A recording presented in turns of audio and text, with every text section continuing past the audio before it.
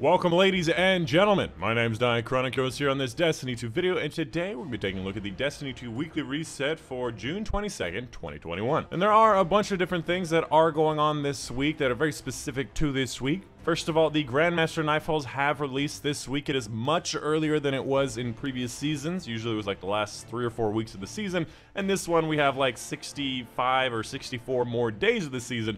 And of course, the Grandmaster Nightfall is the pinnacle of PvE activities. It is the hardest that you can possibly play in Destiny 2. Now, it's not impossible, but it is much harder than that of Masters. So if you haven't tried it already, you know Masters and stuff, I would recommend giving it a try, looking up some videos, because it is something different. And along with that, obviously, there's going to be the Adept weapons, which, in my opinion, this season is not really that worth it, but you can get them if you want. Other than that, there's increased infamy this week, so if you wanted to get infamy from Gambit for whatever reason, it's available this week. And finally, if you look at the calendar, you can see that we also have a new weekly Pinnacle mission, which is just going to be probably the new Expunge. So just get on whatever character you finished uh, Splicer 6 on, and you'll probably see Splicer 7. Moving on, let's go ahead and get started. First up for the Nightfall, this week we have the Glassway, which is probably the worst or the hardest Grandmaster Nightfall you could possibly have and I would recommend that you either wait or be very careful. If you're looking to get 100k, obviously I do recommend Legend. It's one of those longer but also higher density missions, so it it's very small chance that Hero will work, but I think Legend is probably going to be the best choice. And uh, I believe last week was a Sniper, so this week should be the Fusion Rifle. The Vanguard Strike playlist burn this week, it's going to be Arc. The Rotating Crucible playlist is going to be Showdown. Moving on to the Europa stuff, first up for the Empire Hunt, we have the Warrior. Fairly easy mission, especially when compared to the Technocrat. For the simulation, we have Agility. This is going to be the one that's inside and outside with the cubes.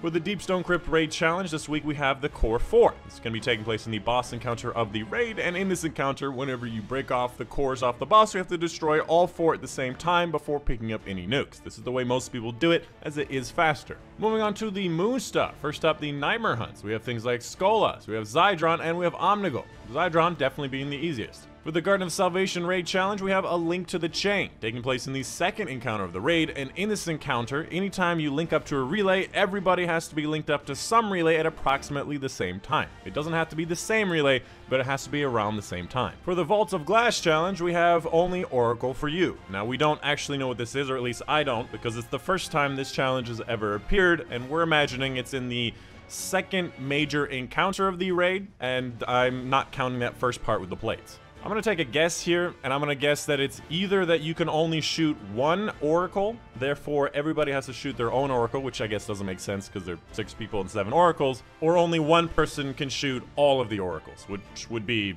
quite difficult. Moving on to these seasonal challenges, just going to show you off the different seasonal challenges available. So it took a minute to read over some of these different options. In summary, first of all, this one's going to be the Splicer 7-1, just like every single other week. This one's going to be the new Expunge Styx in 9 minutes or less, collecting Ether in the main playlists, getting the machine gun kills in Expunge or Override, Infamy, Rank, and Gambit. This is an 8 times large XP, Crucible competitive playlist, and finally Grandmaster Nightfall Strike completion, which is another 8 times large XP. Moving on to the gunsmith's possible weapon options. If you didn't know, every single week he brings a bunch of different weapon options with very specific roles that may be really amazing that you can get very cheaply. For the most part, there's not a lot of great ones here. Some of them are kind of middling to above average. First up, the False Promises has overflows and moment with some pretty decent stats and stuff here, but 360 is not doing that well. Toil and Trouble, actually a pretty good role, though I would like to see Full Choke in this column, and for the most part, Toil and Trouble doesn't have great stats compared to other aggressive frames. Ikelos Sniper Rifle, Triple Tap, Quick Shot, not really that great anymore.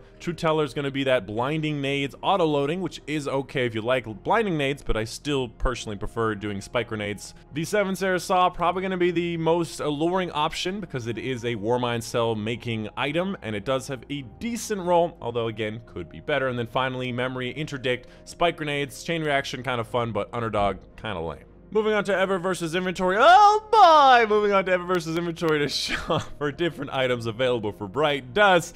Uh, first up, across the bottom we have, we have this uh, Sparrow if you want it. Actually, little arms move out the front. That's adorable. But more importantly, we have the Cloud Strike Izanagi's ornament. And it's only 1250. Uh, usually, I would imagine these are like 3000, but You know, uh, to make my thing look like a Buster Cloud sword is pretty nice. Got a ghost projection that looks like a hat if you want to be a cowboy. We got the gray grayscale undergrowth, which looks like this. Moving on to the other bright dust section, first of all, for the ghost shell, we have the, I want to say like Minecraft looking ghost shell, if you want to get it.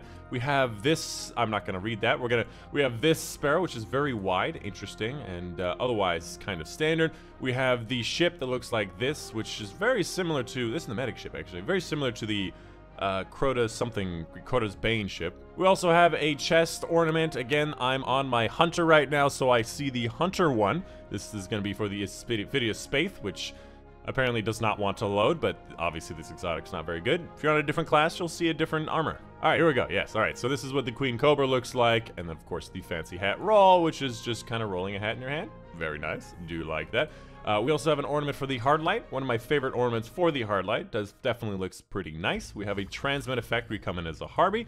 Harpy. A Harpy. We have the Cabal entrance. We have the Minotaur entrance. We have the Vex Invasion entrance. Lots of different entrances. Circadian Chill. Looks kind of cool on certain weapons. Not a big fan for the armor side of things. Uh, Melchizedek Bramble, which I don't know how else you'd say this other than Melchizedek Bramble. Can look pretty nice on certain weapons. I don't think this is the best example, but actually does have some pretty nice applications. I think uh, Titan Armor actually looks pretty good as well. Molten Bronze, if you want to look like this. And then finally, we have the Vanguard Magnus Gloss, one of the first Vanguard shaders in the game. And finally, for Hawthorne's weekly raid challenge, for the Last Wish raid challenge, we have Summoning Ritual. This is going to be taking place in the first encounter of the raid with Kali, and in this encounter, all you have to do is activate all nine plates instead of just the correct six ones. And that's it. Just do that every time you have the option. And that is going to be pretty much the end of the video. Make sure you come check out my live streams right after this video, as well as all the times on screen right now, twitch.tv slash link in the description down below. Oftentimes, we have big open lobbies for Pinnacles, for the new seasonal stuff, and Vault of Glass. Even if you've never done it,